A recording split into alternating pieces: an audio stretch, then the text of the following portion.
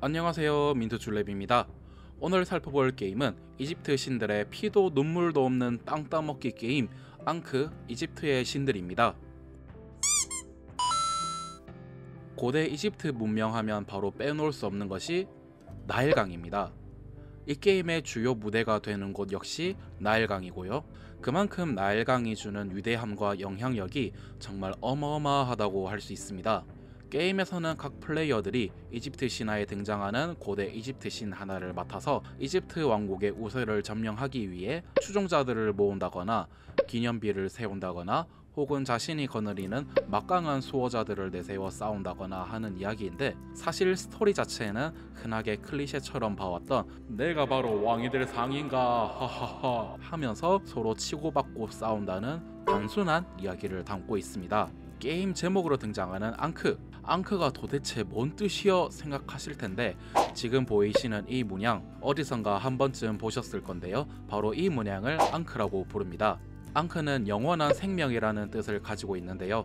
이 앙크 문양이 어떻게 생겨났는지에 대해 여러 가지 썰들만 있지 아직까지도 제대로 밝혀지지는 않았습니다. 그렇다 보니 이집트 고분 벽화나 미술 작품에서 이집트의 신들이 앙크 문양을 들고 있는 모습을 많이 보셨을 텐데요. 아마 이 게임도 이러한 부분에 착안을 해서 게임 이름을 앙크라고 지었지 않았나 생각해 봅니다.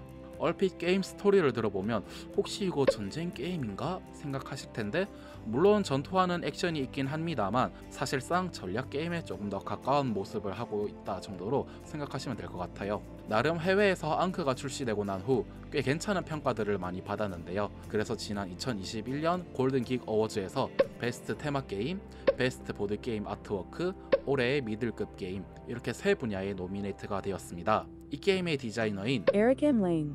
는 나름 이런 테마 게임의 잔뼈가 굵은 사람인데요. 대표적으로 아카디아 퀘스트, 크툴루 죽음마저 죽으리니, 라이징 선, 블러드 레이지 같은 게임뿐만 아니라 IP를 차용한 스타워즈 카드 게임, 왕자의 게임 카드 게임 버전, 마블 유나이티드까지 아무 테마 게임 하나 손으로 콕 집으면 이 사람이 만든 게임이야 라고 할 정도로 정말 유명한 게임들을 많이 만들어낸 디자이너입니다. 사실 저는 이집트 테마를 그렇게 쏙 좋아하는 편은 아니라서 처음에 앙크 펀딩 진행한다고 했을 때 큰 관심은 없었는데요. 이게 점점 입소문을 타기 시작하고 아 이거 크죽죽 디자이너가 만든 게임이라고 아 이건 못 참지 하고 구매를 한 게임입니다. 아무튼 제 개인 이야기도 살짝 하긴 했는데 여기까지 간단하게 게임 소개해드렸고요. 본격적으로 게임 내용을 살펴보도록 하겠습니다.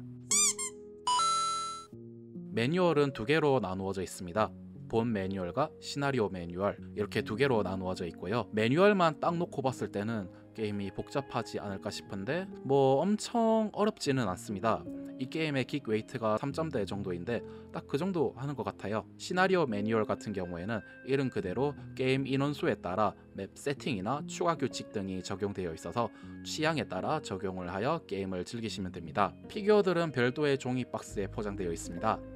박스 뒷면에는 이렇게 보관 방법도 나와 있고요. 저번에 unboxing했던 좀비사이드의 피자 박스와 비교해봤을 때 확실히 앙크 쪽이 조금 더 신경을 썼다는 게 느껴집니다. 물론 피자 박스가 안 좋다 그런 건 아닌데 어, 사실 개인적으로는 굳이 저런 형태로 포장을 했을까 하는 의문이 남더라고요. CMON 게임답게 피규어 퀄리티가 아주 좋은 축에 속합니다. 디테일한 묘사뿐 아니라 피규어 크기에서 오는 위압감까지 있으니 가격이 비싼 게 어느 정도 용납이 될 정도의 퀄리티를 보여주고 있어서 아주 만족스럽습니다. 확실히 요즘 나오는 피규어 게임들이 비싸게 나오는 대신에 그만큼의 퀄리티를 보장해주는 스타일인 것 같아요. 이번 앙크 피규어들을 보면서 앞으로의 피규어 게임의 퀄리티는 또 어떻게 변해 나갈지 기 대가 되기도 합니다. 그 외에 기타 플라스틱 구성품으로 피규어 베이스라던가 플라스틱 토큰들이 있는데요. 피규어 베이스는 딱딱한 플라스틱으로 되어 있고 가운데 구멍이 뚫려 있어서 베이스를 쉽게 끼었다 뺐다 할 수 있게 디자인되어 있습니다. 플라스틱 토큰들은 그렇다 할 특징은 없으니 이런 게 있다 정도만 보고 넘어갈게요. 나머지 게임보드와 펀칭 카드보드는 wrapping이 되어 있는 모습입니다. 게임에 사용되는 대시보드는 크죽죽과 마찬가지로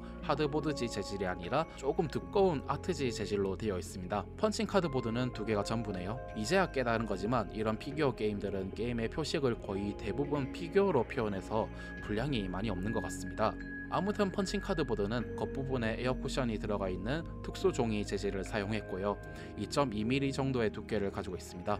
어쩐지 좀 두껍더라니. 게임보드는 접이식으로 되어 있고 아주 깔끔한 정사각형 형태로 되어 있네요.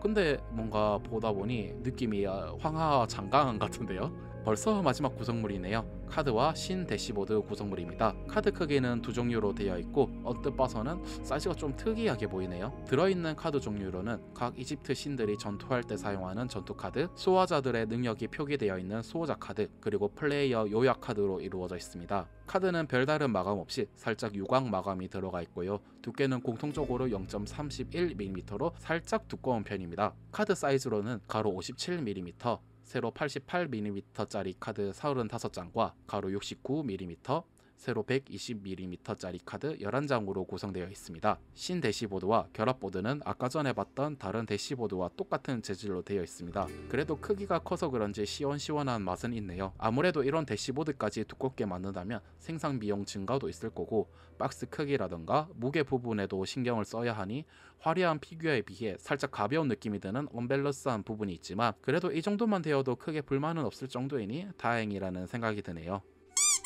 이렇게 오늘은 앙크 이집트의 신들을 살펴봤습니다. 가격대가 좀 있는 게임이긴 하지만 전체적으로 구성물들을 살펴봤을 때 그래도 지불한 돈값만큼의 퀄리티는 뽑아낸 것 같고요. 게임 플레이도 단순히 피규어빨로 밀어붙이는 게 아니라 재미까지 동시에 갖추었다고 하니 기대가 많이 됩니다. 오늘 영상은 여기까지고요. 다음 주에도 새로운 영상으로 다시 인사드리도록 하겠습니다. 지금까지 저는 민트줄랩이었고요.